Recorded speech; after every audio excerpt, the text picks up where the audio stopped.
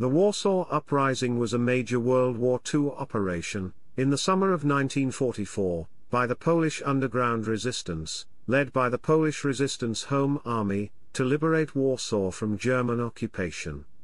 The uprising was timed to coincide with the retreat of the German forces from Poland ahead of the Soviet advance. While approaching the eastern suburbs of the city, the Red Army temporarily halted combat operations, enabling the Germans to regroup and defeat the Polish resistance and to destroy the city in retaliation. The uprising was fought for 63 days with little outside support. It was the single largest military effort taken by any European resistance movement during World War II. The uprising began on 1 August 1944 as part of a nationwide Operation Tempest, launched at the time of the Soviet Lublin-Brest offensive. The main Polish objectives were to drive the Germans out of Warsaw while helping the Allies defeat Germany. An additional, political goal of the Polish underground state was to liberate Poland's capital, and assert Polish sovereignty before the Soviet-backed Polish Committee of National Liberation could assume control. Other immediate causes included a threat of mass German roundups of able-bodied Poles for evacuation, calls by Radio Moscow's Polish Service for Uprising, and an emotional Polish desire for justice and revenge against the enemy after five years of German occupation. Initially, the Poles established control over most of central Warsaw, but the Soviets ignored Polish attempts to make radio contact with them and did not advance beyond the city limits. Intense street fighting between the Germans and Poles continued.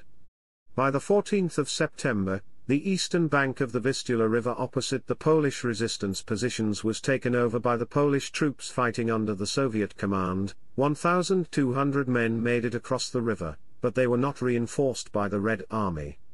This, and the lack of air support from the Soviet airbase five minutes flying time away, led to allegations that Joseph Stalin tactically halted his forces to let the operation fail and allow the Polish resistance to be crushed. Arthur Koestler called the Soviet attitude one of the major infamies of this war which will rank for the future historian on the same ethical level with Lidice. On the other hand, David Glantz argued that the uprising started too early and the Red Army could not realistically have aided it, regardless of Soviet intentions. Winston Churchill pleaded with Stalin and Franklin D. Roosevelt to help Britain's Polish allies, to no avail. Then, without Soviet air clearance, Churchill sent over 200 low-level supply drops by the Royal Air Force, the South African Air Force, and the Polish Air Force under British High Command, in an operation known as the Warsaw Airlift. Later, after gaining Soviet air clearance, the U.S. Army Air Force sent one high-level mass airdrop as part of Operation Frantic, although 80% of these supplies landed in German-controlled territory. Although the exact number of casualties is unknown, it is estimated that about 16,000 members of the Polish resistance were killed and about 6,000 badly wounded. In addition, between 150,000 and 200,000 Polish civilians died, mostly from mass executions. Jews being harbored by Poles were exposed by German house-to-house clearances and mass evictions of entire neighborhoods. German casualties totaled over 2,000 to 17,000 soldiers killed and missing. During the urban combat, approximately 25% of Warsaw's buildings were destroyed. Following the surrender of Polish forces, German troops systematically leveled another 35% of the city block by block. Together with earlier damage suffered in the 1939 invasion of Poland and the Warsaw Ghetto Uprising in 1943, over 85% of the city was destroyed by January 1945 when the course of the events in the Eastern Front forced the Germans to abandon the city. Chapter 1 Background in 1944, Poland had been occupied by Nazi Germany for almost five years. The Polish Home Army planned some form of rebellion against German forces. Germany was fighting a coalition of Allied powers, led by the Soviet Union, the United Kingdom and the United States. The initial plan of the Home Army was to link up with the invading forces of the Western Allies as they liberated Europe from the Nazis. However, when the Soviet army began its offensive in 1943, it became clear that Poland would be liberated by it instead of the Western Allies. In this country, we have one point from which every evil emanates. That point is Warsaw. If we didn't have Warsaw in the general government, we wouldn't have four-fifths of the difficulties with which we must contend. German Governor General Hans Frank, Krakow, the 14th of December 1943. The Soviets and the Poles had a common enemy, Germany, but were working towards different post-war goals. The Home Army desired a pro-Western, capitalist Poland, but the Soviet leader Stalin intended to establish a pro-Soviet, socialist Poland. It became obvious that the advancing Soviet Red Army might not come to Poland as an ally but rather only as the ally of an ally. The Home Commander was, in his political thinking, pledged to the doctrine of two enemies, in accordance with which both Germany and Russia were seen as Poland's traditional enemies, and it was expected that support for Poland, if any, would come from the West. The Soviets and the Poles distrusted each other and Soviet partisans in Poland often clashed with a Polish resistance increasingly united under the Home Army's front. Stalin broke off Polish-Soviet relations on the 25th of April 1943 after the Germans revealed the Katyn massacre of Polish army officers, and Stalin refused to admit to ordering the killings and denounced the claims as German propaganda. Afterwards, Stalin created the Burdenko Commission, whose goal was to blame the Germans for the war crime at all costs. The Western Alliance accepted Stalin's words as truth in order to keep the anti-Nazi alliance intact. On the 26th of October, the Polish government in exile issued instructions to the effect that, if diplomatic relations with the Soviet Union were not resumed before the Soviet entry into Poland, Home Army forces were to remain underground pending further decisions. However, the Home Army commander, Tadeusz Bor-Komorowski, took a different approach, and on the 20th of November, he outlined his own plan, which became known as Operation Tempest. On the approach of the Eastern Front, local units of the Home Army were to harass the German Wehrmacht in the rear and cooperate with incoming Soviet units as much as possible. Although doubts existed about the military necessity of a major uprising, planning continued. General Bor-Komorowski and his civilian advisor were authorized by the government in exile to proclaim a general uprising whenever they saw fit. Chapter 2 Eve of the Battle The situation came to a head on the 13th of July 1944 as the Soviet offensive crossed the old Polish border. At this point the Poles had to make a decision, either initiate the uprising in the current difficult political situation and risk a lack of Soviet support, or fail to rebel and face Soviet propaganda describing the Home Army as impotent or worse, Nazi collaborators. They feared that if Poland was liberated by the Red Army, then the Allies would ignore the London-based Polish government in the aftermath of the war.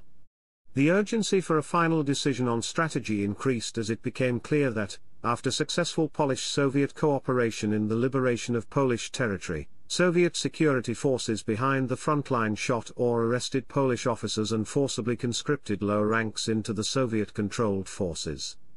On the 21st of July, the High Command of the Home Army decided that the time to launch Operation Tempest in Warsaw was imminent.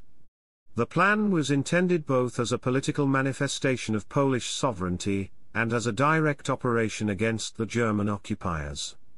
On the 25th of July, the Polish government in exile approved the plan for an uprising in Warsaw with the timing to be decided locally. In the early summer of 1944, German plans required Warsaw to serve as the defensive center of the area, and to be held at all costs. The Germans had fortifications constructed and built up their forces in the area. This process slowed after the failed the 20th of July plot to assassinate the Nazi leader Adolf Hitler, and around that time, the Germans in Warsaw were weak and visibly demoralized. However, by the end of July, German forces in the area were reinforced. On the 27th of July, the governor of the Warsaw district, Ludwig Fischer, called for 100,000 Polish men and women to report for work as part of a plan which envisaged the Poles constructing fortifications around the city. The inhabitants of Warsaw ignored his demand, and the Home Army Command became worried about possible reprisals or mass roundups, which would disable their ability to mobilize. The Soviet forces were approaching Warsaw, and Soviet controlled radio stations called for the Polish people to rise in arms. On the 25th of July, the Union of Polish Patriots, in a broadcast from Moscow, stated, The Polish Army of Polish Patriots, calls on the thousands of brothers thirsting to fight, to smash the foe before he can recover from his defeat. Every Polish homestead must become a stronghold in the struggle against the invaders, not a moment is to be lost. On the 29th of July, the first Soviet armored units reached the outskirts of Warsaw, where they were counterattacked by two German Panzer Corps, the 39th and 4th SS.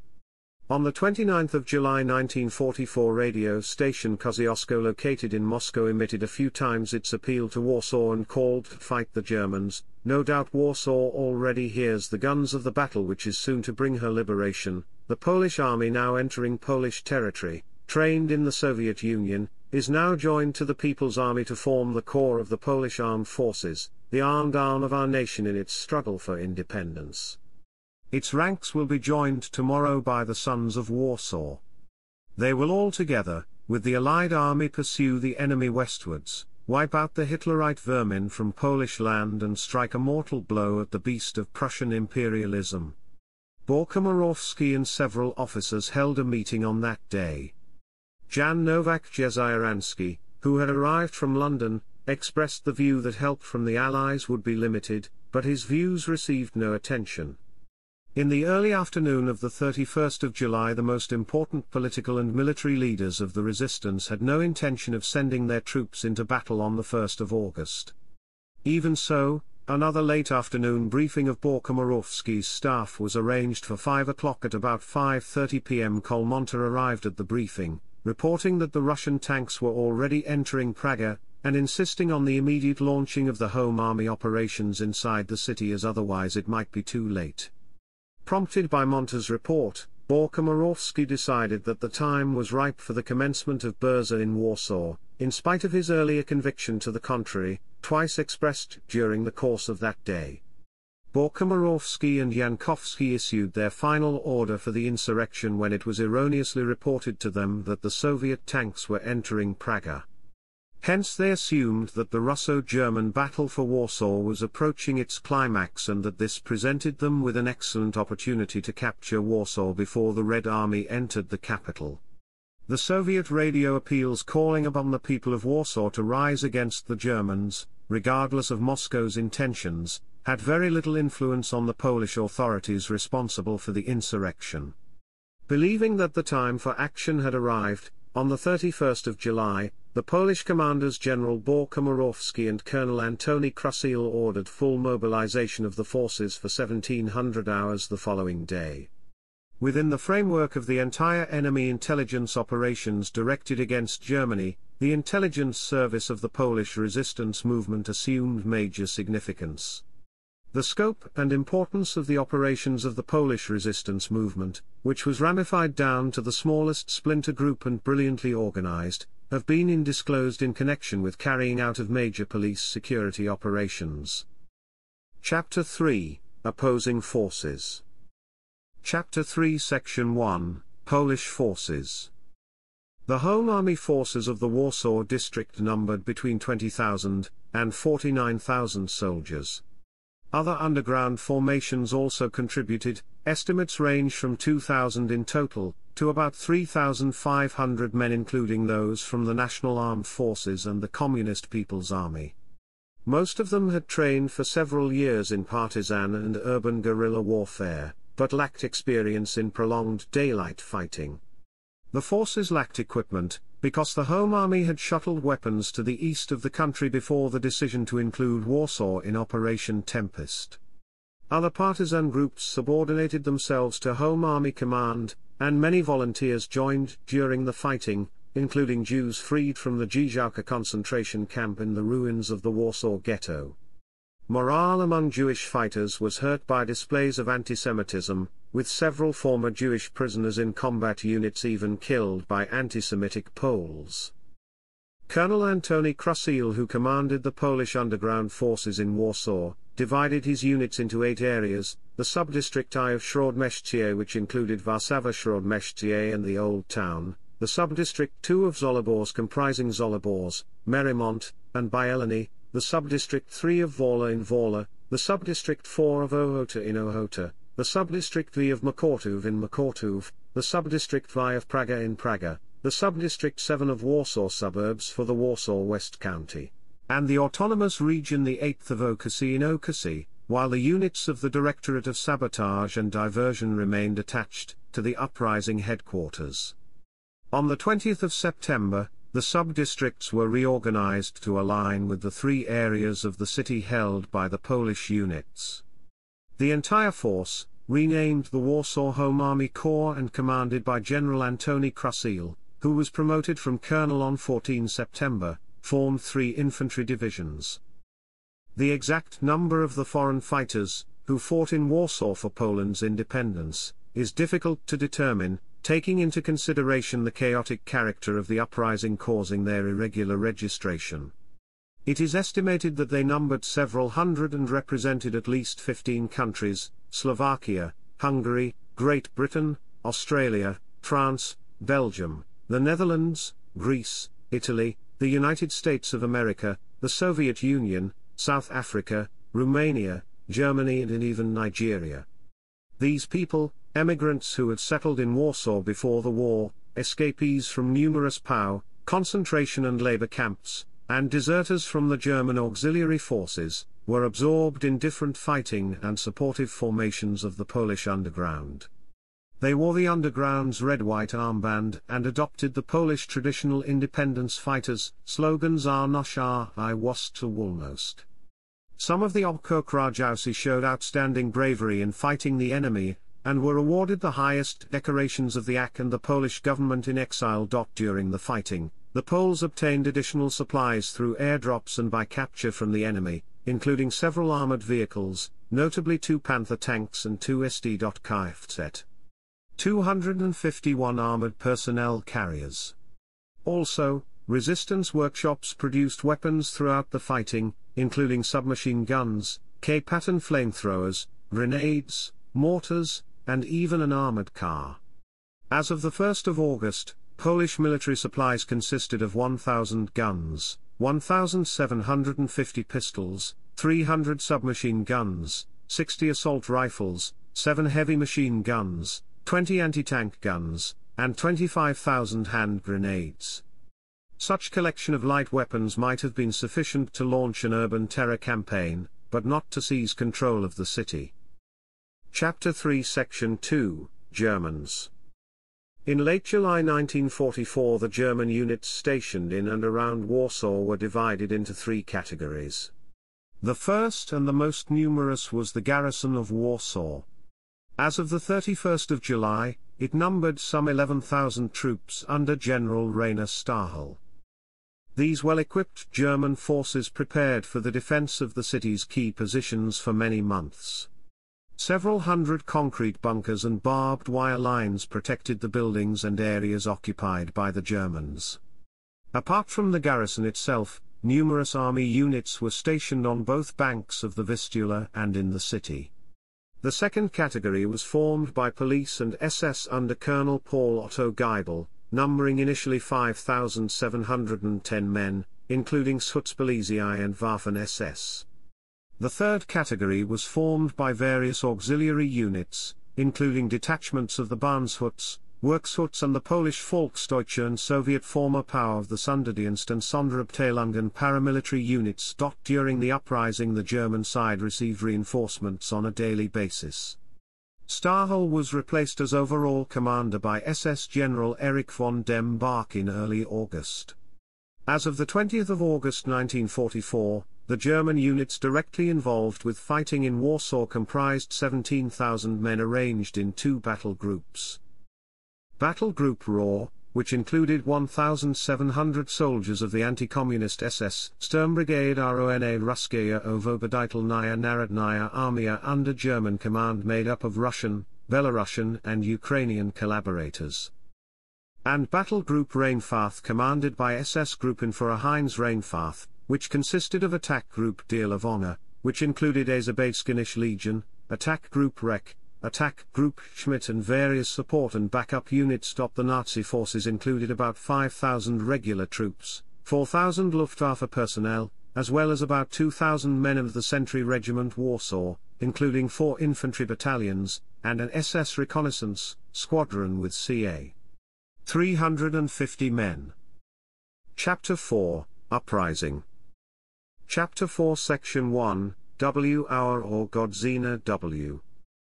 After days of hesitation, at 1700 hours on the 31st of July, the Polish headquarters scheduled W hour, the moment of the start of the uprising for 1700 hours on the following day. The decision was a strategic miscalculation because the under-equipped resistance forces were prepared and trained for a series of coordinated surprise dawn attacks. In addition, although many units were already mobilized and waiting at assembly points throughout the city, the mobilization of thousands of young men and women was hard to conceal. Fighting started in advance of W hour, notably in Zoliborz, and around Napoleon Square and Dąbrowski Square. The Germans had anticipated the possibility of an uprising, though they had not realized its size or strength. At 1630 Governor Fischer put the garrison on full alert. That evening the resistance captured a major German arsenal, the main post office and power station and the Prudential building. However, Castle Square, the police district, and the airport remained in German hands. The first days were crucial in establishing the battlefield for the rest of the fight. The resistance fighters were most successful in the city center, Old Town, and Wola districts. However, several major German strongholds remained, and in some areas of Wola the Poles sustained heavy losses that forced an early retreat. In other areas such as Mokotów, the attackers almost completely failed to secure any objectives and controlled only the residential areas. In Praga, on the east bank of the Vistula, the Poles were sent back into hiding by a high concentration of German forces. Most crucially, the fighters in different areas failed to link up with each other and with areas outside Warsaw, leaving each sector isolated from the others. After the first hours of fighting, Many units adopted a more defensive strategy, while civilians began erecting barricades. Despite all the problems, by the 4th of August the majority of the city was in Polish hands, although some key strategic points remained untaken. My Führer, the timing is unfortunate, but from a historical perspective what the Poles are doing is a blessing. After five, six weeks we shall leave. But by then Warsaw, the capital, the head, the intelligence of this former 16 to 17 million Polish people will be extinguished. This Volk has blocked our way to the east for 700 years, and has stood in our way ever since the First Battle of Tannenberg. After this the Polish problem will no longer be a great historical problem for the children who come after us, nor indeed will it be for us. Chapter 4 Section 2 First Four Days the uprising was intended to last a few days until Soviet forces arrived, however, this never happened, and the Polish forces had to fight with little outside assistance. The results of the first two days of fighting in different parts of the city were as follows. Area I, units captured most of their assigned territory, but failed to capture areas with strong pockets of resistance from the Germans. They thus failed to create a central stronghold, secure communication links to other areas, or a secure land connection with the northern area of Zoliborz through the northern railway line and the citadel. Area 2, units failed to secure the most important military targets near Zoliborz. Many units retreated outside of the city, into the forests. Although they captured most of the area around Żoliborz, the soldiers of Colonel Mieczysław Niedzielski failed to secure the citadel area, and break through German defenses at Warsaw Gdansk railway station. Area 3, units initially secured most of the territory, but sustained heavy losses. Some units retreated into the forests, while others retreated to the eastern part of the area. In the northern part of Wola the soldiers of Colonel Jan Mazurkiewicz managed to capture the German barracks, the German supply depot at Stawki Street, and the flanking position at the Okopowa Street Jewish Cemetery. Area 4, the units mobilized in this area did not capture either the territory or the military targets. After suffering heavy casualties most of the Home Army forces retreated to the forests west of Warsaw. Only two small units of approximately 200 to 300 men under Lieutenant Andrzej Chyczewski remained in the area and managed to create strong pockets of resistance. They were later reinforced by units from the city center. Elite units of the Kedyw managed to secure most of the northern part of the area, and captured all of the military targets there. However, they were soon tied down by German tactical counterattacks from the south and west. Area V, the situation in this area was very serious from the start of hostilities. The partisans aimed to capture the heavily defended police area on Rakowiecka Street, and establish a connection with the city center through open terrain at the former airfield of Mokotów Field. As both of the areas were heavily fortified and could be approached only through open terrain, the assaults failed. Some units retreated into the forests, while others managed to capture parts of Dolny Mokotów, which was, however, severed from most communication routes to other areas. Area Vi, the uprising was also started on the right bank of the Vistula, where the main task was to seize the bridges on the river and secure the bridgeheads until the arrival of the Red Army. It was clear that, since the location was far worse than that of the other areas, there was no chance of any help from outside. After some minor initial successes, the forces of Lieutenant Colonel Antoni Żurawski were badly outnumbered by the Germans. The fights were halted, and the Home Army forces were forced back underground. Area 7, this area consisted of territories outside Warsaw city limits. Actions here mostly failed to capture their targets. An additional area within the Polish command structure was formed by the units of the Directorate of Sabotage and Diversion or Kedyw, an elite formation that was to guard the headquarters and was to be used as an armed ambulance, thrown into the battle in the most endangered areas. These units secured parts of Śródmieście and Wola, along with the units of Area I, they were the most successful during the first few hours. Among the most notable primary targets that were not taken during the opening stages of the uprising were the airfields of Okęcie and Mokotów Field, as well as the past skyscraper overlooking the city center and the Gdansk railway station guarding the passage between the center and the northern borough of Żoliborz. The leaders of the uprising counted only on the rapid entry of the Red Army in Warsaw, and were more prepared for a confrontation with the Russians. At this time, the head of the government in exile Mikołajczyk met with Stalin on 3 August 1944 in Moscow and raised the questions of his imminent arrival in Warsaw, the return to power of his government in Poland, as well as the eastern borders of Poland, while categorically refusing to recognize the Curzon line as the basis for negotiations. In saying this, Mikołajczyk was well aware that the USSR and Stalin had repeatedly stated their demand for recognition of the Curzon line as the basis for negotiations and categorically refused to change their position. The 23rd of March 1944 Stalin said he could not depart from the Curzon line, in spite of Churchill's post-Tehran reference to his Curzon line policy as one of force, he still believed it to be the only legitimate settlement. Thus, the Warsaw Uprising was actively used to achieve political goals.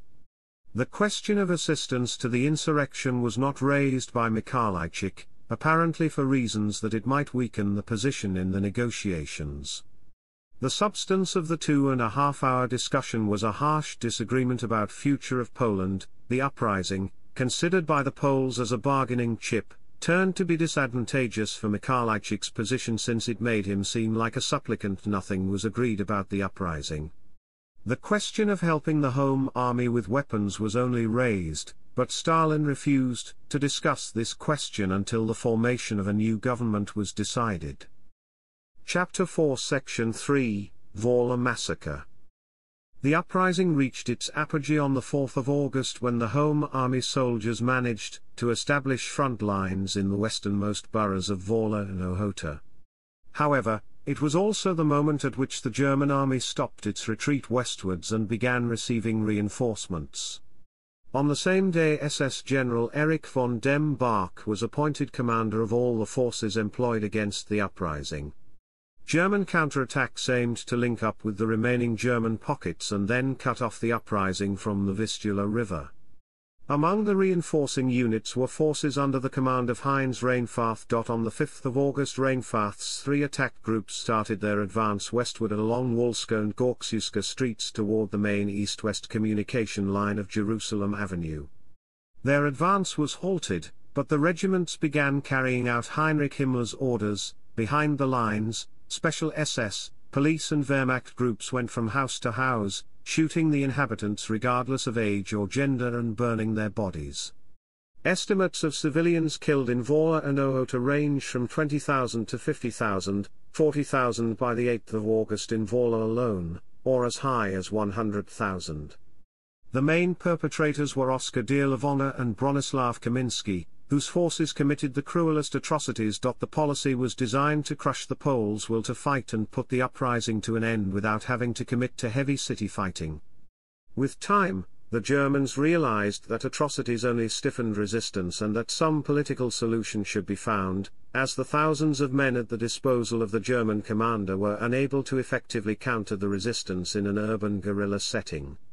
They aimed to gain a significant victory to show the Home Army the futility of further fighting and induce them to surrender. This did not succeed. Until mid-September, the Germans shot all captured resistance fighters on the spot, but from the end of September, some of the captured Polish soldiers were treated as POWs. Chapter 4 Section 4 Stalemate This is the fiercest of our battles since the start of the war. It compares to the street battles of Stalingrad. Despite the loss of Wola, the Polish resistance strengthened. Zośka and Wacek battalions managed to capture the ruins of the Warsaw Ghetto and liberate the Gęsiówka concentration camp, freeing about 350 Jews. The area became one of the main communication links between the resistance fighting in Wola and those defending the old town. On the 7th of August, German forces were strengthened by the arrival of tanks using civilians as human shields. After two days of heavy fighting they managed to bisect Wola and reach Bankowy Square. However, by then the net of barricades, street fortifications, and tank obstacles were already well prepared, both sides reached a stalemate, with heavy house-to-house -house fighting. Between 9 and 18 August pitched battles raged around the old town, and nearby Bankowy Square, with successful attacks by the Germans and counter-attacks from the Poles. German tactics hinged on bombardment through the use of heavy artillery and tactical bombers, against which the Poles were unable to effectively defend, as they lacked anti-aircraft artillery weapons. Even clearly marked hospitals were dive-bombed by Stukas. Although the Battle of Stalingrad had already shown the danger a city can pose to armies which fight within it and the importance of local support, the Warsaw Uprising was probably the first demonstration that in an urban terrain, a vastly under-equipped force supported by the civilian population can hold its own against better-equipped professional soldiers, though at the cost of considerable sacrifice on the part of the city's residents. The Poles held the old town until a decision to withdraw was made at the end of August. On successive nights until 2 September, the defenders of the old town withdrew through the sewers, which were a major means of communication between different parts of the uprising. Thousands of people were evacuated in this way. Those that remained were either shot or transported to concentration camps like Mauthausen and Sachsenhausen once the Germans regained control. Chapter 4 Section 5 Berling's Landings Soviet attacks on the 4th SS Panzer Corps east of Warsaw were renewed on the 26th of August, and the Germans were forced to retreat into Praga. The Soviet army under the command of Konstantin Rokossovsky captured Praga, and arrived on the east bank of the Vistula in mid-September. By the 13th of September, the Germans had destroyed the remaining bridges over the Vistula, signaling that they were abandoning all their positions east of the river. In the Praga area, Polish units under the command of General Zygmunt Berling fought on the Soviet side. Three patrols of his first Polish army landed in the Czerniaków and Pile areas and made contact with Home Army forces on the night of 14-15 of September. The artillery cover and air support provided by the Soviets was unable to effectively counter enemy machine gun fire as the Poles crossed the river, and the landing troops sustained heavy losses. Only small elements of the main units made it ashore. The limited landings by the 1st Polish Army represented the only external ground force which arrived to physically support the uprising, and even they were curtailed by the Soviet High Command due to the losses they took. The Germans intensified their attacks on the home army positions near the river to prevent any further landings, but were not able to make any significant advances for several days while Polish forces held those vital positions in preparation for a new expected wave of Soviet landings. Polish units from the eastern shore attempted several more landings, and from 15 to 23 September sustained heavy losses. Red Army support was inadequate.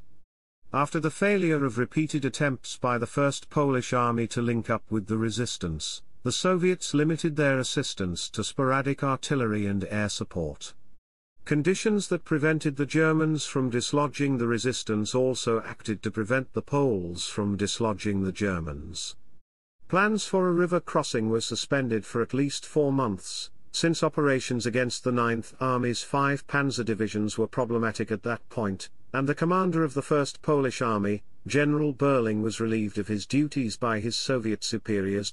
On the night of the 19th of September, after no further attempts from the other side of the river were made and the promised evacuation of wounded did not take place.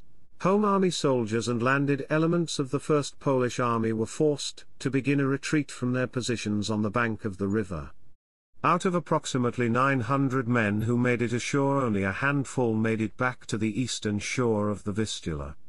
Berling's Polish army losses in the attempt to aid the uprising were 5,660 killed, missing or wounded. From this point on, the Warsaw Uprising can be seen as a one-sided war of attrition or, alternatively, as a fight for acceptable terms of surrender. The Poles were besieged in three areas of the city, Śródmieście, Żoliborz, and Mokotów. Chapter 5, Life Behind the Lines in 1939 Warsaw had roughly 1,350,000 inhabitants. Over a million were still living in the city at the start of the uprising. In Polish-controlled territory, during the first weeks of the uprising, people tried to recreate the normal day-to-day life of their free country. Cultural life was vibrant, both among the soldiers and civilian population, with theaters, post offices, newspapers and similar activities. Boys and girls of the Polish Scouts acted as couriers for an underground postal service, risking their lives daily to transmit any information that might help their people. Near the end of the uprising, lack of food, medicine, overcrowding and indiscriminate German air and artillery assault on the city made the civilian situation more and more desperate. Booby traps, such as thermite-laced candy pieces, may have also been used in German-controlled districts of Warsaw, targeting Polish youth. Chapter 5 Section 1 Food Shortages As the uprising was supposed to be relieved by the Soviets in a matter of days, the Polish underground did not predict food shortages would be a problem. However, as the fighting dragged on, the inhabitants of the city faced hunger and starvation. A major breakthrough took place on the 6th of August, when Polish units recaptured the Habub brewery complex at Szklana Street. From that time on the citizens of Warsaw lived mostly on barley from the brewery's warehouses. Every day up to several thousand people organized into cargo teams reported to the brewery for bags of barley and then distributed them in the city center. The barley was then ground in coffee grinders and boiled with water to form a so-called spit soup. The Sowiński battalion managed to hold the brewery until the end of the fighting. Another serious problem for civilians and soldiers alike was a shortage of water. By mid-August most of the water conduits were either out of order or filled with corpses. In addition, the main water pumping station remained in German hands. To prevent the spread of epidemics and provide the people with water, the authorities ordered all janitors to supervise the construction of water wells in the backyards of every house. On the 21st of September the Germans blew up the remaining pumping stations at Koszykowa Street and after that the public wells were the only source of potable water in the besieged city. By the end of September, the city centre had more than 90 functioning wells. Chapter 5 Section 2 Polish Media before the uprising the Bureau of Information and Propaganda of the Home Army had set up a group of war correspondents. Headed by Antoni Bohdziewicz, the group made three newsreels and over 30,000 meters of film tape documenting the struggles. The first newsreel was shown to the public on the 13th of August in the Palladium Cinema at Złota Street. In addition to films, dozens of newspapers appeared from the very first days of the uprising. Several previously underground newspapers started to be distributed openly. The two main daily newspapers were the government-run Rzeczpospolita Polska and military Biuletyn Informacyjny. There were also several dozen newspapers, magazines, bulletins and weeklies published routinely by various organizations and military units. The Błyskawica long-range radio transmitter, assembled on the 7th of August in the city center, was run by the military, but was also used by the recreated Polish radio from 9 August. It was on the air three or four times a day, broadcasting news programs and appeals for help in Polish, English, German, and French, as well as reports from the government, patriotic poems and music. It was the only such radio station in German-held Europe. Among the speakers appearing on the resistance radio were Jan Nowak Jeziorański, Zbigniew Swiatkowski, Stefan Sojecki, Jeremi Przybora, and John Ward, a war correspondent for the Times of London. Chapter 6 Outside Support According to many historians, a major cause of the eventual failure of the uprising was the almost complete lack of outside support and the late arrival of that which did arrive. The Polish government in exile carried out frantic diplomatic efforts to gain support from the Western Allies prior to the start of battle but the Allies would not act without Soviet approval. The Polish government in London asked the British several times to send an Allied mission to Poland. However, the British mission did not arrive until December 1944. Shortly after their arrival, they met up with Soviet authorities, who arrested and imprisoned them. In the words of the mission's deputy commander, it was a complete failure. Nevertheless, from August 1943 to July 1944, over 200 British Royal Air Force flights dropped an estimated 146 Polish personnel trained in Great Britain, over 4,000 containers of supplies, and $16 million in banknotes and gold to the Home Army. The only support operation which ran continuously for the duration of the uprising were night supply drops by long-range planes of the RAF, other British Commonwealth Air Forces, and units of the Polish Air Force, which had to use distant airfields in Italy. Reducing the amount of supplies they could carry. The RAF made 223 sorties and lost 34 aircraft. The effect of these airdrops was mostly psychological, they delivered too few supplies for the needs of the resistance, and many airdrops landed outside Polish-controlled territory. Chapter 6, Section 1, Airdrops There was no difficulty in finding Warsaw. It was visible from 100 kilometers away. The city was in flames but with so many huge fires burning, it was almost impossible to pick up the target marker flares. From 4 August the Western Allies began supporting the uprising with airdrops of munitions and other supplies. Initially the flights were carried out mostly by the 1568th Polish Special Duties Flight of the Polish Air Force, stationed in Bari and Brindisi in Italy, flying B-24 Liberator, Handley Page Halifax and Douglas C-47 Dakota planes. Later on, at the insistence of the Polish government in exile, they were joined by the liberators of two Wing No. 31 and No. 34 squadrons of the South African Air Force based at Foggia in southern Italy, and Halifaxes, flown by No. 148 and No. 178 RAF squadrons. The drops by British, Polish and South African forces continued until 21 September. The total weight of Allied drops varies according to source, over 200 flights were made. The Soviet Union did not allow the Western Allies to use its airports for the airdrops for several weeks, so the planes had to use bases in the United Kingdom and Italy which reduced their carrying weight and number of sorties. The Allies' specific request for the use of landing strips made on the 20th of August was denied by Stalin on the 22nd of August. Stalin referred to the Polish resistance as a handful of criminals and stated that the uprising was inspired by enemies of the Soviet Union.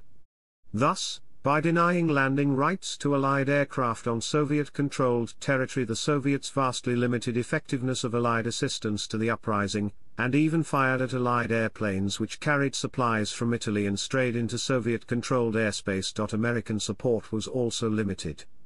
After Stalin's objections to supporting the uprising, British Prime Minister Winston Churchill telegraphed US President Franklin D. Roosevelt on the 25th of August and proposed sending planes in defiance of Stalin, to see what happens.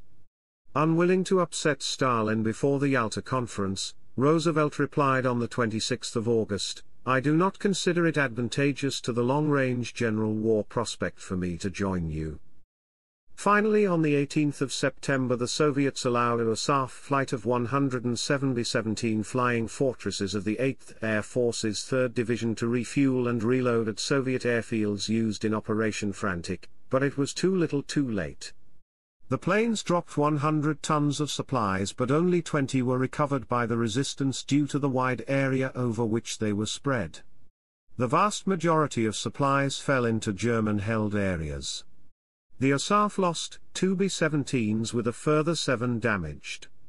The aircraft landed at the Operation Frantic airbases in the Soviet Union, where they were rearmed and refueled, and the next day 100 B-17s and 61s P-51s left the USSR to bomb the marshalling yard at Szolnok in Hungary on their way back to bases in Italy. Soviet intelligence reports show that Soviet commanders on the ground near Warsaw estimated that 96% of the supplies dropped by the Americans fell into German hands.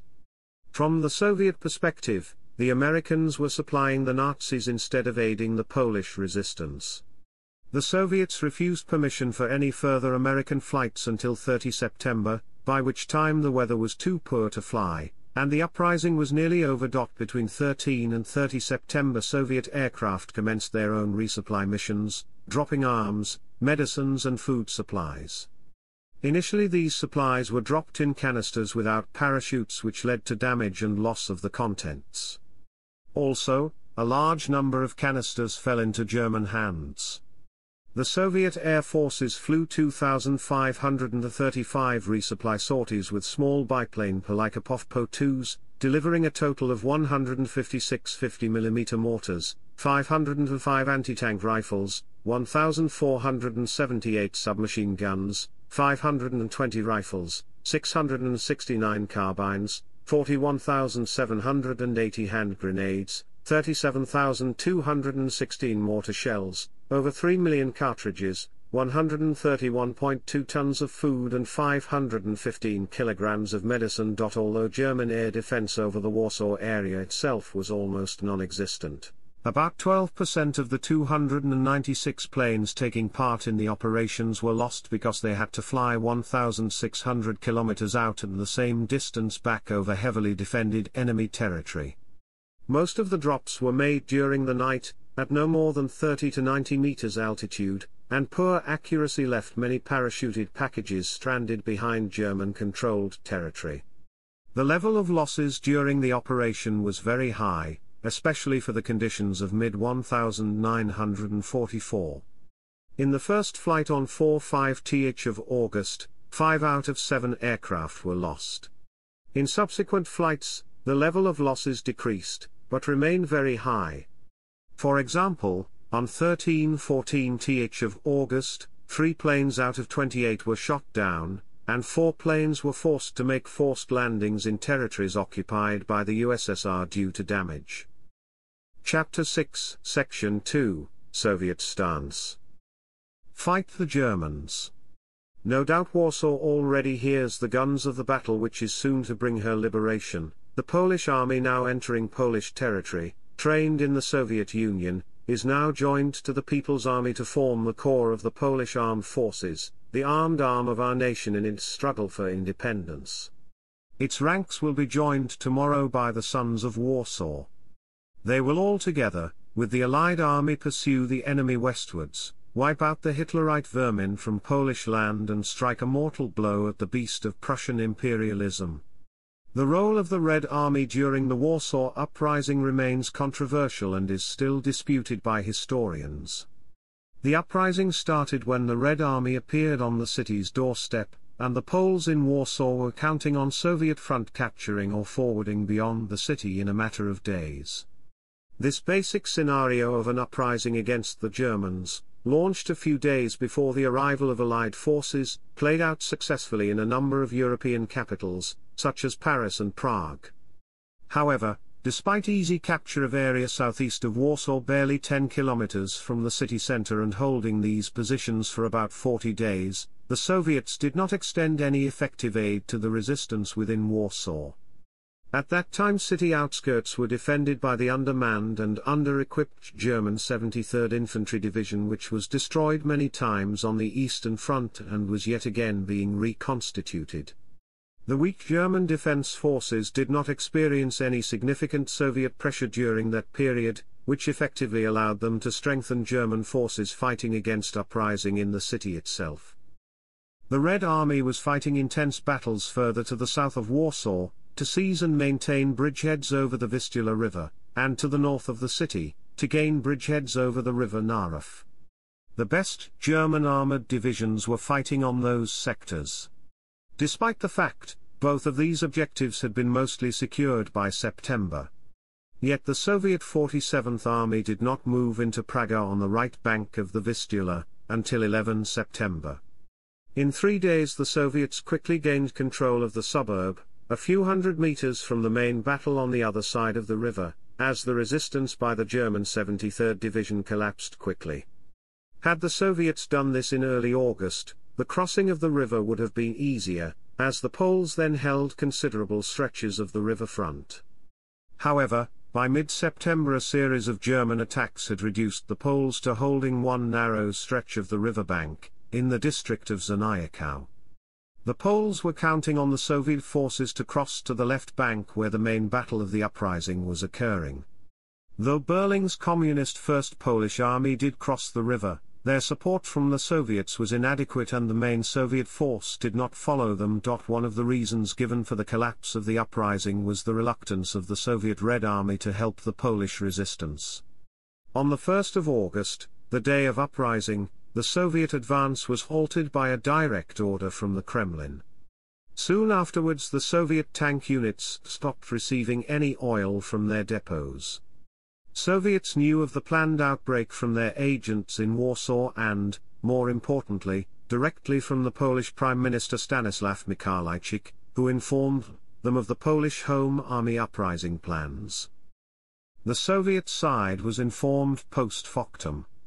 The Russians learned about possibility for the first time from Mikołajczyk, at about 9 pm on the 31st of July, that is about three hours after Bor-Komorowski had given the order for the insurrection to begin.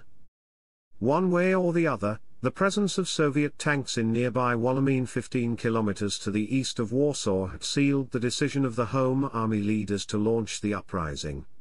However, as a result of the initial Battle of Radzymin in the final days of July, these advance units of the Soviet Second Tank Army were pushed out of Wołomin and back about 10 kilometers.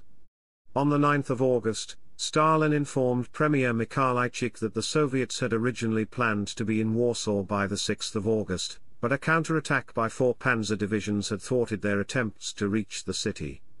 By the 10th of August, the Germans had enveloped and inflicted heavy casualties on the Soviet Second Tank Army at Wołomin. On the 1st of August 1944, the underground Polish Home Army, being in contact with and loyal to the Polish government in exile in London, began offensive operations in Warsaw, in an attempt to free the city from the occupying German forces before the Red Army could secure the capital. Zygmunt Berling became the deputy commander of the Polish army in the USSR on the 22nd of July 1944. With his own army stopped on the Vistula River and facing Warsaw itself, and without first consulting his Soviet superiors, Berling may have independently issued orders to engage the German enemy and to come to the aid of the Polish resistance. But it was a small landing without any tactical support from Berling or other Soviet units that could not make a difference in the situation of Warsaw. Yet this behavior may have caused Berling's dismissal from his post soon after. When Stalin and Churchill met face to face in October 1944, Stalin told Churchill that the lack of Soviet support was a direct result of a major reverse in the Vistula sector in August, which had to be kept secret for strategic reasons. All contemporary German sources assumed that the Soviets were trying to link up with the resistance, and they believed it was their defense that prevented the Soviet advance rather than a reluctance to advance on the part of the Soviets. Nevertheless, as part of their strategy the Germans published propaganda accusing both the British and Soviets of abandoning the Poles. The Soviet units which reached the outskirts of Warsaw in the final days of July 1944 had advanced from the First Belarusian Front in western Ukraine as part of the Lublin-Brest offensive, between the Lvov-Sandomierz offensive on its left and Operation Bagration on its right. These two flanking operations were colossal defeats for the German army and completely destroyed a large number of German formations. As a consequence, the Germans at this time were desperately trying to put together a new force to hold the line of the Vistula, the last major river barrier between the Red Army and Germany proper, rushing in units in various stages of readiness from all over Europe. These included many infantry units of poor quality, and 4 to 5 high-quality panzer divisions in the 39th Panzer Corps and 4th SS Panzer Corps pulled from their refits. Other explanations for Soviet conduct are possible. The Red Army geared for a major thrust into the Balkans through Romania in mid-August and a large proportion of Soviet resources was sent in that direction, while the offensive in Poland was put on hold. Stalin had made a strategic decision to concentrate on occupying Eastern Europe, rather than on making a thrust toward Germany. The capture of Warsaw was not essential for the Soviets, as they had already seized a series of convenient bridgeheads to the south of Warsaw, and were concentrating on defending them against vigorous German counterattacks. Finally, the Soviet High Command may not have developed a coherent or appropriate strategy with regard to Warsaw because they were badly misinformed. Propaganda from the Polish Committee of National Liberation minimized the strength of the Home Army and portrayed them as Nazi sympathizers. Information submitted to Stalin by intelligence operatives or gathered from the front line was often inaccurate or omitted key details. Possibly because the operatives were unable, due to the harsh political climate, to express opinions or report facts honestly, they deliberately resorted to writing nonsense. According to David Glantz, the Red Army was simply unable to extend effective support to the uprising, which began too early, regardless of Stalin's political intentions. German military capabilities in August, early September were sufficient to halt any Soviet assistance to the Poles in Warsaw, where it intended. In addition, Glantz argued that Warsaw would be a costly city to clear of Germans and an unsuitable location as a start point for subsequent Red Army offensives. Declassified documents from Soviet archives reveal that Stalin gave instructions to cut off the Warsaw resistance from any outside help. The urgent orders issued to the Red Army troops in Poland on 23 August 1944 stipulated that the Home Army units in Soviet-controlled areas should be prevented from reaching Warsaw and helping the uprising, their members apprehended and disarmed.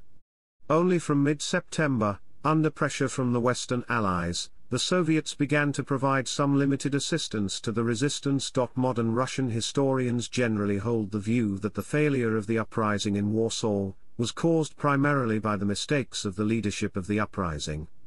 They point out that in July 1944, according to the directive of the command, the Soviet troops did not have the goal of attacking Warsaw, but only to the suburbs of Warsaw, Praga with access to the Vistula River line. Since the Soviet command understood that it was unlikely to be possible to capture the bridges over the Vistula and the Germans would blow them up. The Soviet forces aimed to advance in the northern direction with the capture of East Prussia, and with the priority task of reaching the line of the Vistula and Narew rivers and capturing bridgeheads. Then the offensive against East Prussia was to begin from these bridgeheads.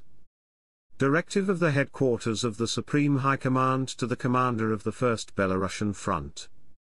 Moscow, July 27, 1944.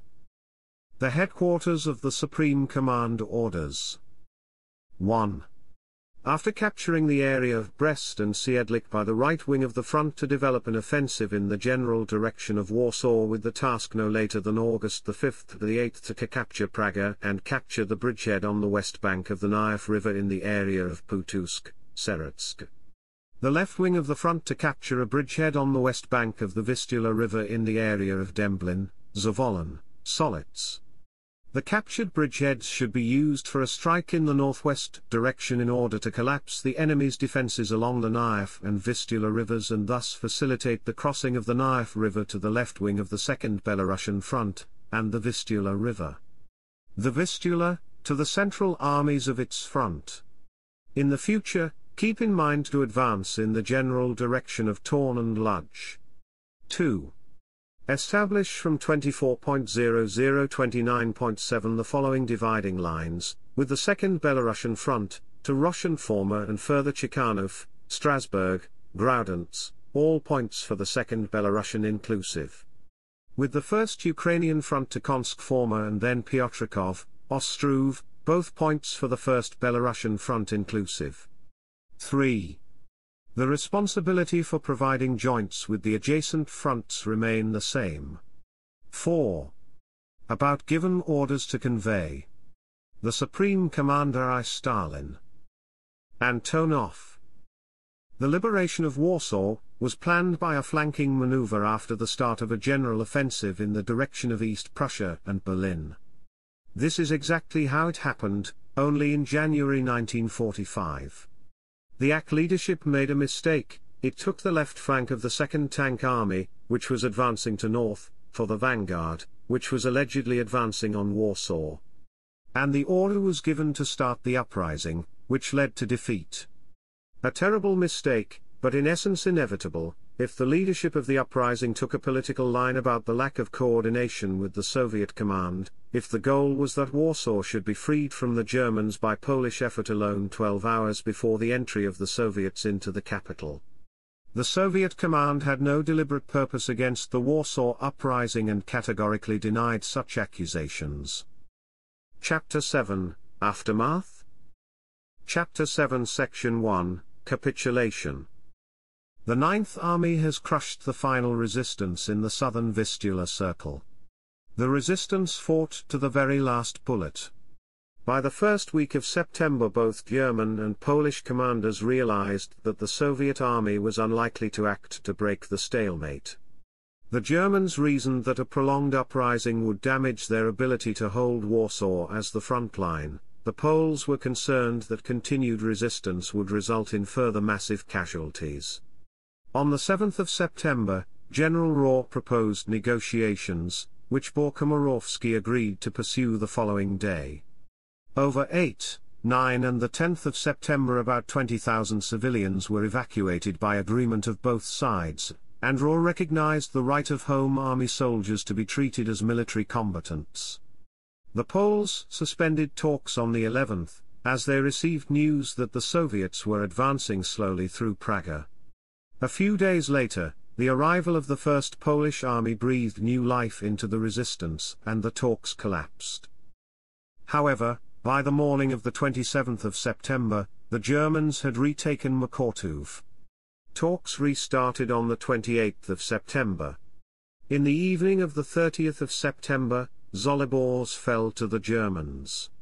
The Poles were being pushed back into fewer and fewer streets, and their situation was ever more desperate. On the 30th, Hitler decorated von dem Bach, Dirlewanger, and Reinefarth, while in London General Sosnkowski was dismissed as Polish Commander-in-Chief.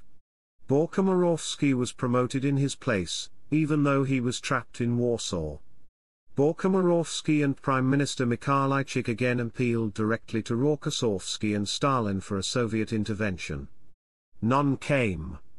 According to Soviet Marshal Georgy Zhukov, who was by this time at the Vistula front, Both he and Rokossovsky advised Stalin against an offensive because of heavy Soviet losses. The capitulation order of the remaining Polish forces was finally signed on the 2nd of October. All fighting ceased that evening. According to the agreement, the Wehrmacht promised to treat Home Army soldiers in accordance with the Geneva Convention, and to treat the civilian population humanely. The next day the Germans began to disarm the Home Army soldiers. They later sent 15,000 of them to POW camps in various parts of Germany. Between 5,000 and 6,000 resistance fighters decided to blend into the civilian population hoping to continue the fight later. The entire civilian population of Warsaw was expelled from the city and sent to a transit camp, Durchgangslager 121 in Pruszków. Out of 350,000 to 550,000 civilians who passed through the camp, 90,000 were sent to labor camps in the Third Reich, 60,000 were shipped to death and concentration camps, while the rest were transported to various locations in the general government and released. The Eastern Front remained static in the Vistula sector, with the Soviets making no attempt to push forward, until the Vistula Oder offensive began on the 12th of January 1945. Almost entirely destroyed, Warsaw was liberated from the Germans on the 17th of January 1945 by the Red Army and the First Polish Army. Chapter 7 Section 2 Destruction of the City The city must completely disappear from the surface of the earth and serve only as a transport station for the Wehrmacht. No stone can remain standing. Every building must be razed to its foundation.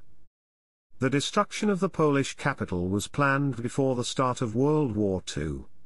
On the 20th of June 1939, while Adolf Hitler was visiting an architectural bureau in Würzburg am Main, his attention was captured by a project of a future German town, Neue Deutsche Stadt Warschau. According to the Pabst plan Warsaw was to be turned into a provincial German city. It was soon included as a part of the Great Germanization Plan of the East, the genocidal Generalplan Ost. The failure of the Warsaw Uprising provided an opportunity for Hitler to begin the transformation. After the remaining population had been expelled, the Germans continued the destruction of the city. Special groups of German engineers were dispatched to burn and demolish the remaining buildings. According to German plans, after the war Warsaw was to be turned into nothing more than a military transit station, or even an artificial lake, the latter of which the Nazi leadership had already intended to implement for the Soviet-slash-Russian capital of Moscow in 1941. The Brandkommandos used flamethrowers and Sprengkommandos explosives, to methodically destroy house after house. They paid special attention to historical monuments, Polish national archives and places of interest. By January 1945, 85% of the buildings were destroyed, 25% as a result of the uprising, 35% as a result of systematic German actions after the uprising, and the rest as a result of the earlier Warsaw Ghetto uprising, and the September 1939 campaign. Material losses are estimated at 10,455 buildings, 923 historical buildings, 25 churches, 14 libraries including the National Library, 81 primary schools, 64 high schools, University of Warsaw and Warsaw University of Technology, and most of the historical monuments. Almost a million inhabitants lost all of their possessions. The exact amount of losses of private and public property as well as pieces of art, monuments of science and culture is unknown but considered enormous. Studies done in the late 1940s estimated total damage at about 30 billion US dollars. In 2004, President of Warsaw Lech Kaczynski, later President of Poland, established a historical commission to estimate material losses that were inflicted upon the city by German authorities. The commission estimated the losses as at least 31.5 billion US dollars at 2004 values. Those estimates were later raised to 45 billion US dollars 2004 US dollars and in 2005 to 54.6 billion dollars. Chapter 7 Section 3 Casualties The exact number of casualties on both sides is unknown. Estimates of Polish casualties fall into roughly similar ranges. Estimates of German casualties differ widely. Though the figure of 9,000 German WER is generally accepted and generates no controversy, there is little agreement as to German irrecoverable losses. Until the 1990s the Eastern and the Western historiography stuck to two widely different estimates, the former claiming 17,000 and the latter 2,000. The 17,000 figure was first coined by a 1947 issue of a Warsaw historical journal J. Narodowe, allegedly based on estimates made by Zalewski when interrogated by his Polish captors. This figure was initially repeated in West Germany. However, in 1962 a scholarly monograph by Hans Krannhals coined the 2000 estimate. Until the late 20th century the 17,000 figure was consistently and unequivocally quoted in the Polish, though also in the East German and Soviet historiography, be it encyclopedias, scientific monographs or more popular works. It was at times paired or otherwise related to the figure of 16,000 German Warsaw KIA plus MIA listed by the so-called Getlin Report of April 1945. The 2000 figure was accepted in West Germany and generally spilled over to Western historiography, exceptions were studies written in English by the Poles and some other works. Komorowski, who in 1995 opted for 16,000, changed his mind and 10 years later cautiously subscribed to the 2000 figure, also scholars like Sawicki and Rozwadowski tentatively followed suit. A popular work of Boksik, who concludes that 3000 is the maximum conceivable figure. In his 2016 analysis Ur dismissed the 17,000 figure as entirely improbable and suggested that its longevity and popularity resulted from manipulation on part of apologists of the rising. dot In the Russian historiography it is given clear preference, be it in encyclopedias and dictionaries or general works, the same opinion might be found in Belorussia. The 17,000 estimate made it also to the English literature, quoted with no reservations in popular compendia, warfare manuals and a handful of other works. The figure is advanced also by established institutions like BBC. Other works in English offer a number of approaches, some quote both sides with no own preference, some provide ambiguous descriptions, some set 17,000 irrecoverable losses as an upper limit, some provide odd numbers perhaps resulting from incompetent quotations and some remain silent on the issue altogether, which is the case of the only major English monograph. A key argument supporting the 17,000 figure, apart from quotations from Bach and Getlin, are total losses sustained by Kampfgruppe Dirlewanger, one of a few operational units forming German troops fighting the Poles. They are currently calculated at some 3,500, if extrapolated, they might support the overall 25,000 German casualty estimate. Chapter 7 Section 4 After the War I want to protest against the mean and cowardly attitude adopted by the British press towards the recent rising in Warsaw, one was left with the general impression that the Poles deserved to have their bottoms smacked for doing what all the Allied wirelesses had been urging them to do for years past. First of all, a message to English left-wing journalists and intellectuals generally, do remember that dishonesty and cowardice always have to be paid for. Don't imagine that for years on end you can make yourself the boot-licking propagandist of the Soviet regime, or any other regime, and then suddenly return to mental decency. Once a whore, always a whore. By deciding to act without coordinating their plans with the Soviet High Command, authors of the insurrection assumed heavy responsibility for the fate of Warsaw, and greatly contributed to the ensuing tragedy of this city and its people. They failed to realize that a badly armed home army could not, in the summer of 1944 successfully do battle with the Germans while simultaneously trying to oppose the Russians and the Polish communists politically. Bor-Komorowski's and Jankowski's plans were too complicated and too hazardous to succeed in the existing political and military situation. Most soldiers of the Home Army were persecuted after the war, captured by the NKVD or UB political police. They were interrogated and imprisoned on various charges, such as that of fascism. Many of them were sent to gulags, executed or disappeared. Between 1944 and 1956, all of the former members of Battalion Zośka were incarcerated in Soviet prisons. In March 1945, a staged trial of 16 leaders of the Polish underground state held by the Soviet Union took place in Moscow. The government delegate, together with most members of the Council of National Unity and the CIC of the Armia Krajowa, were invited by Soviet General Ivan Serov with agreement of Joseph Stalin to a conference on their eventual entry to the Soviet-backed provisional government. They were presented with a warrant of safety, Yet they were arrested in Pruszków by the NKVD on 27 and the 28th of March. Leopold Okulicki, Jan Stanisław Jankowski and Kazimierz Pużak were arrested on the 27th with 12 more the next day. A. Had been arrested earlier. They were brought to Moscow for interrogation in the Lubyanka. After several months of brutal interrogation and torture, they were presented with the forged accusations of collaboration with Nazis and planning a military alliance with Germany. Many resistance fighters, captured by the Germans and sent to POW camps in Germany, were later liberated by British, American and Polish forces and remained in the West. Among those were the leaders of the uprising Tadeusz Bor-Komorowski and Antoni Chruściel. The Soviet government labeled all SS Sturmbrigade RONA Ruskaya Osvoboditelnaya Narodnaya Armia soldiers as traitors, and those who were repatriated were tried and sentenced to detention in Soviet prisons or executed. In the 1950s and 1960s in the USSR, dozens of other former RONA members were found, some of them also sentenced to death.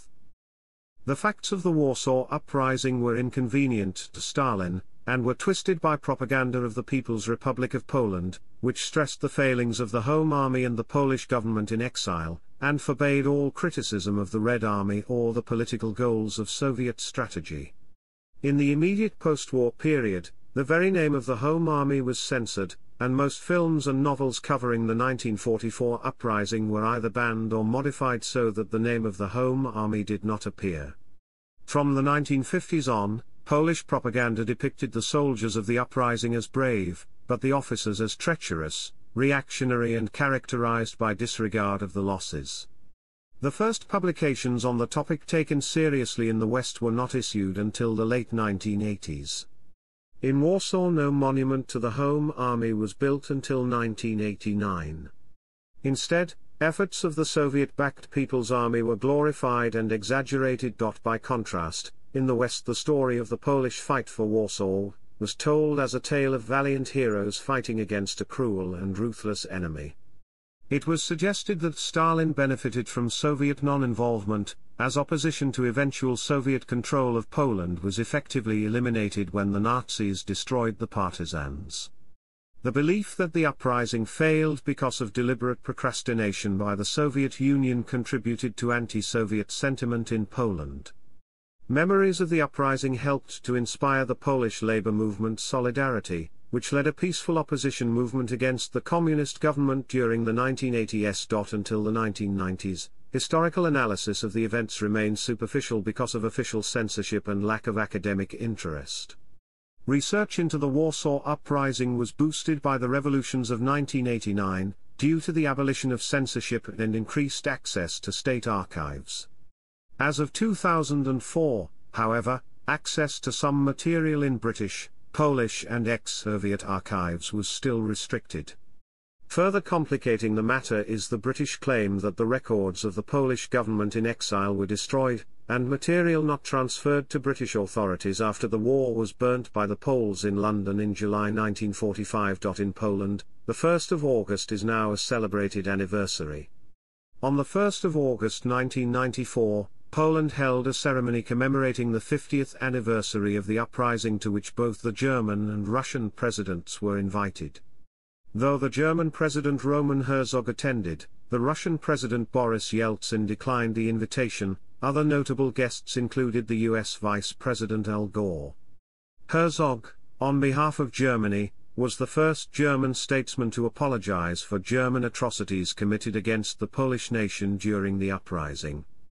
During the 60th anniversary of the uprising in 2004, official delegations included German Chancellor Gerhard Schroeder, UK Deputy Prime Minister John Prescott and US Secretary of State Colin Powell, Pope John Paul II sent a letter to the mayor of Warsaw, Lech Kaczynski on this occasion. Russia once again did not send a representative. A day before, the 31st of July 2004, the Warsaw Uprising Museum opened in Warsaw. At present, Poland largely lacks a critical view of the leaders of the 1944 Warsaw Uprising. The reasons for the defeat of the uprising are mainly seen in external factors, the lack of sufficient support from the USSR and to a lesser extent from the United States and Great Britain. The poor relations between modern Russia and Poland in this case are an additional argument for such views. Meanwhile, in Poland, there is a different view of the Warsaw Uprising, presented, for example, in 1974 by January M. Ciechanowski, the historian and participant of the Warsaw Uprising. His views were already widely spread in the 1970s, although he was not a communist historian. In this view, the Warsaw Uprising is seen as a manifestation of a long-standing historical tradition of Poland in the form of anti-Russian discourse using an external factor in this discourse. From this point of view, the Warsaw Uprising was most directed against Russia-USSR and was designed to create a confrontation between the United States Britain and the USSR. By undertaking the struggle against the Germans, said Jen Pelczynski in 1965, the Home Army was defending the independence of Poland threatened by the Russians. If the Russians were our allies there would not have been so great an insurrection. To its authors the insurrection was a form of political struggle against the entering Muscovites, Jankowski and Bor-Komorowski hoped that a strong, resolute and unconciliatory attitude to the Russians would produce more fruitful results.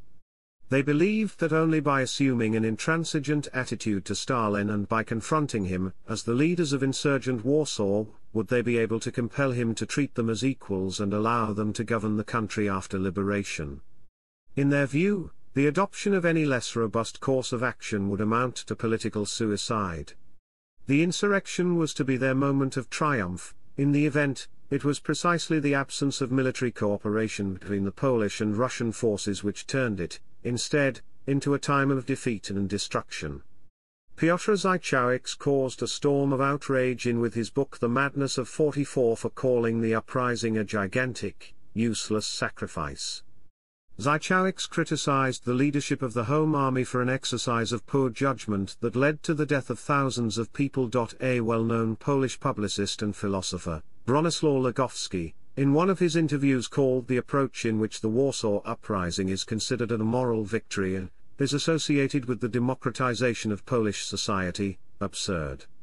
According to him, the cult of an event that caused huge losses, especially a cult that is not sad, but joyful, it is so disconnected from life that we can talk about a painful state. Recently, the attitude towards the Warsaw events has begun to change in Poland. According to Piskorski, this was a reaction to the way right-wing politicians used the symbolism associated with the uprising for their purely practical purposes. According to Radziwinowicz, now part of Polish society is beginning to rethink much of what concerns the Warsaw Uprising. This is a reflection on the terrible tragedy of the people. Suddenly, at the very end of the war, when it seemed that everything was already over, the city is dying, the capital is dying, 200,000 people are dying, says a Polish journalist. I myself was brought up on the tradition of the Warsaw Uprising, and it was something sacred for me for a long time. There was heroism, tragedy. However, now is the time to ask questions, who is to blame and whether it was necessary to start the uprising at all. Said Radziwinowicz. Chapter 8, Photo Gallery Chapter 9 Popular Culture, Music, Television and Cinema. Numerous works have been influenced by and devoted to the uprising.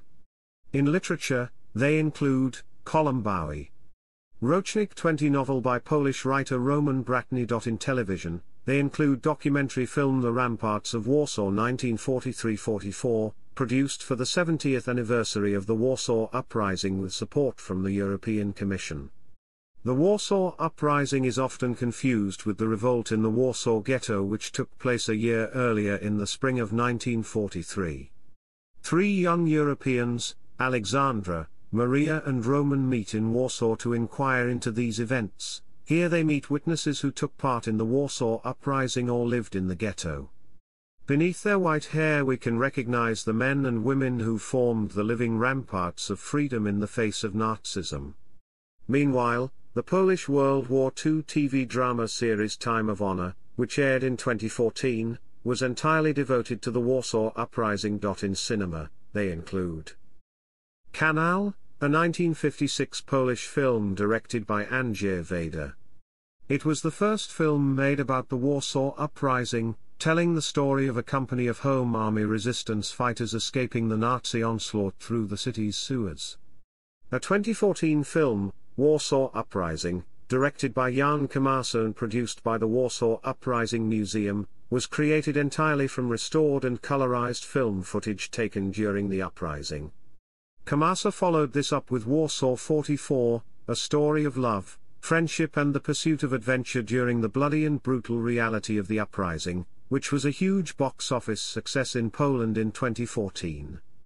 Roman Polanski's film The Pianist also briefly shows the uprising through the eyes of its main character Władysław Szpilman.